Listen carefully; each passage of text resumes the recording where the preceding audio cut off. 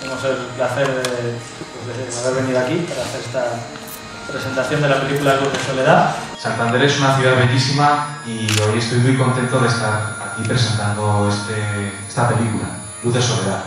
El trabajo de un grupo de profesionales, un gran grupo de personas, entre la gente de Contracorriente Producciones y de Goya Producciones, somos un equipo de casi noventa y tantas personas que ha trabajado durante casi dos años para poder hacer eh, llegar esta película a los cines. Es una película muy bonita que cuenta la historia de una mujer maravillosa. Además es cine, es cultura. Y yo les agradezco a todos de que esta tarde estén aquí. Impresiona ver un cine como este lleno de gente. Espero que la disfrutéis. Hay mucho trabajo detrás de mucha gente. Agradecer a Pablo, a mi compañera Elena, a todos los actores de la película, a cada una de las personas. Así que muchísimas gracias y esperamos que la disfrutéis. Unas palabras para agradecerles la presentación de esta película que dice tanto para nosotras como siervas de María.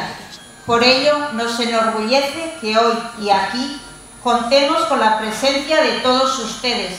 Disfrutemos juntos de esta película. Muchas gracias a todos por su presencia.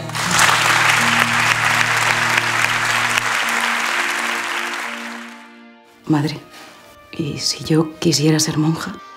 La vida de Santa Soledad ha sido expuesta de una manera maravillosa en la película, en la labor de las siervas de María que continúa, gracias a Dios, a lo largo de la historia y también aquí en nuestra ciudad de Santander.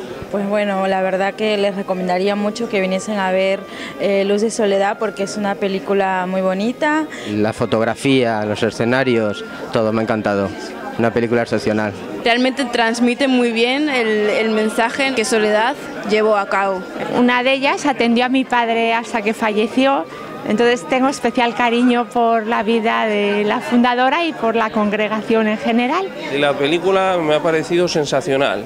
Donde efectivamente se ve la misericordia, la entrega al otro, sobre todo el enfermo, gracias al productor, al director, a las actrices, porque estamos muy faltos de estos valores hoy día.